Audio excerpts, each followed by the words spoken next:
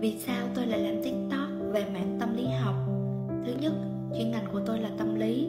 Tôi nhận thấy đại đa số mọi người chưa thật sự quan tâm đúng mức về sức khỏe tinh thần của bản thân cũng như của những người xung quanh cho đến khi mọi người gặp những sự cố về khủng hoảng, stress, lo âu, thậm chí là trầm cảm hay tự tử thì lúc đó mọi người mới bắt đầu quan tâm nhiều hơn đến sức khỏe tinh thần của bản thân mình khi làm những video ngắn như thế này tôi mong cận đến đại đa số mọi người ở mức độ thưởng thức. Thứ hai, những video ngắn này là những gì cô động nhất mà tôi chắc lọc được.